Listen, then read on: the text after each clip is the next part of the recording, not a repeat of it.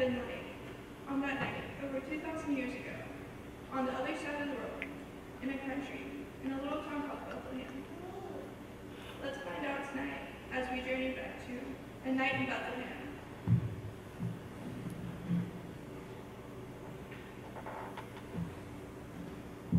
About 2,000 years ago, Mary, I mean I, was a young girl in Israel, and I was engaged to be married to a wonderful man who lived in our hometown of Nazareth. His name was Joseph. Joseph was a carpenter. Isn't he cute? One day before Joseph and I were married, an angel of the Lord appeared to me and said, Greetings, you are highly favored, the Lord is with you. Well, I had no idea what he, she was talking about, and I was pretty terrified by seeing this angel. But then she said, Don't be afraid, Mary, you have found favor with God. I felt better after she said that. Somehow, I didn't feel afraid anymore. Then she went on to tell me that I was going to become pregnant and give birth to a son. She said that I was to give the name, the baby, the name of Jesus.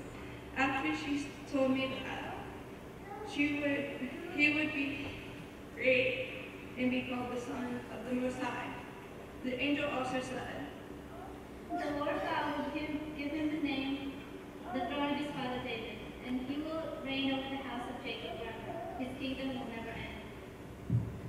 That all sounded so wonderful. I felt really at peace. I just have one question. The Holy Spirit will come upon you, and the power of the Most High will overshadow you. So the Holy One to be born will be called the Son of God. Well, that didn't seem too bad. In fact, that sounded pretty wonderful. So I found myself saying to him, her, I am the Lord's servant. May it be as you have said to me. And then the angel left. But I never forgot. I always remembered what the angel had said.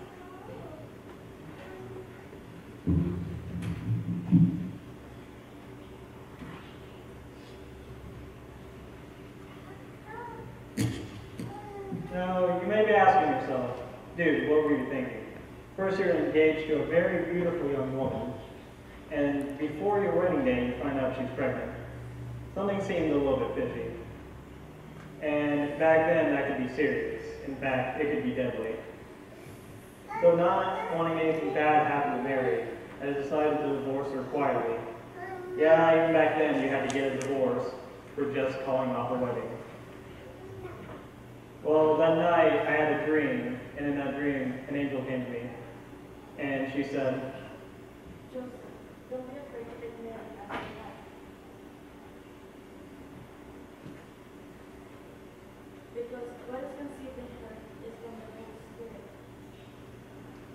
When I woke up, I knew that I couldn't divorce Mary. I mean, God was doing something amazing to her. So I took her into my house, not wanting anything bad to happen, and now we just had to wait until the Son of God would be born.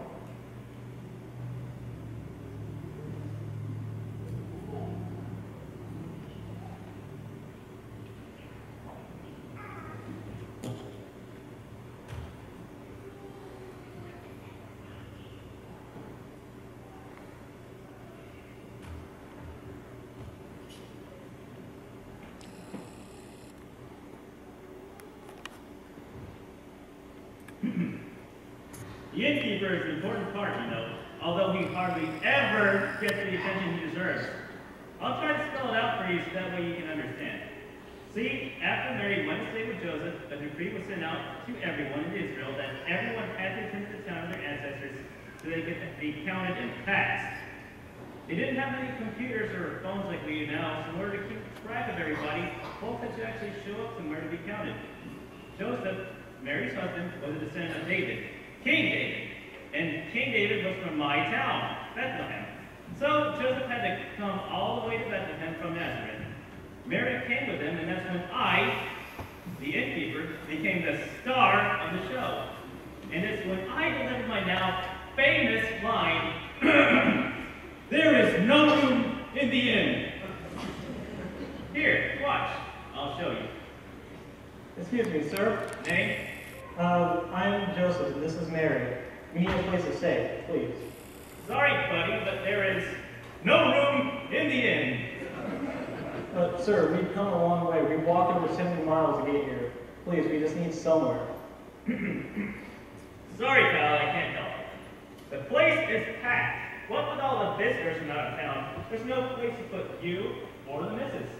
But, sir, please. See, Mary's pregnant and she might have a baby. We think it might even be tonight. Can you just please give us somewhere? No, no, no, no. I don't want to be her problem. I want to be your problem. I see your problem. We all got problems, Silva. I'll tell you what I'll do since it's obvious you have a need here. There's a stable out back. well, now it's not much, but it's a shelter from the wind and the night air. You can have some privacy, and I'll throw in some nice clean hay for you. What do you say? You know, take it. Thank you. God bless you very much. Thank you. Did you hear that? God bless you, he says. Well, little did I know God was going to bless everyone on that night, on that special night in Bethlehem.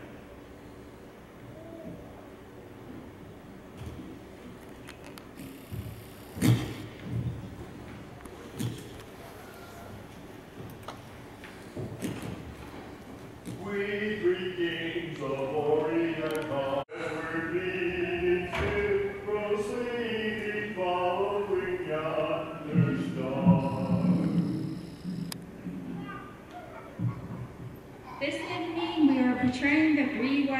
And although we may have traveled alone, it is quite likely that there were more in our entourage.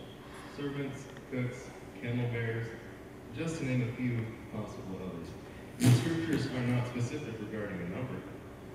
Nevertheless, we arrived in Jerusalem seeking the one who is born King of the Jews. You see, we'd seen his star in the east and knew he'd been born, so we came to Israel to find him. We applied in Jerusalem first, knowing that the learned men of the Jews resided there. We believed that the most likely place for the, their king to be born would be in their capital city. However, when we asked at the city gates, Where is he who is born king of the Jews, the Roman ruler? And his fickle man named Herod, quite upset. quite upset, and all Jerusalem with him. But that Wilson Herod was helpful in his own way. He inquired of the Jewish leaders where their promised Messiah was to be born, and they indicated that it was to be in the town of Bethlehem. Bethlehem, of course, the ancestral home of the beloved King David. The Messiah was prophesied to be of the house and line of David. Of course he would be born there. Yes, thank you. Then Herod lied to us and told us that he would like to come and worship the newborn king as well. He asked us to come back and tell him when we found the child. Terrible man. He had no intention of worshiping the child. He was jealous and did not want him to live long enough to be king. Yes, that's what we found out later, but we are getting ahead of ourselves. We went to Bethlehem. Bethlehem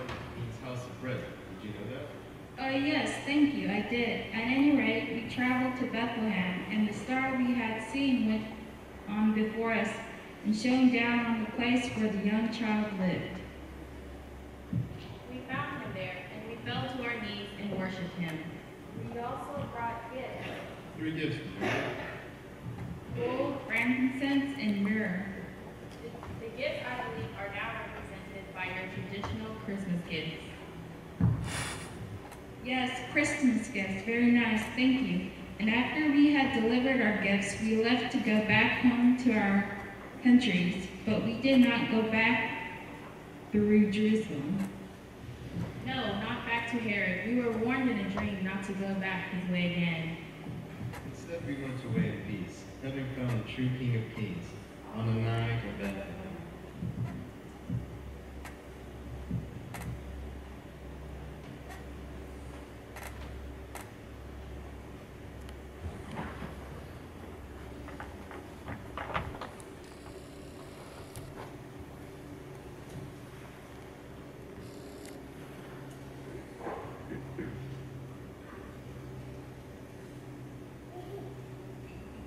That continue to worship at the manger, let's sing Silent Night, Holy Night. That is number 253 if you need the word. You know what a night that must have been. What a thrilling night that had to be. We weren't there on that night, but the Lord can make it real for us now as we celebrate Him. The choir will take its place in just a few minutes. The choir will be presenting the musical to us. As we stand together, let's sing together Silent Night, Holy Night.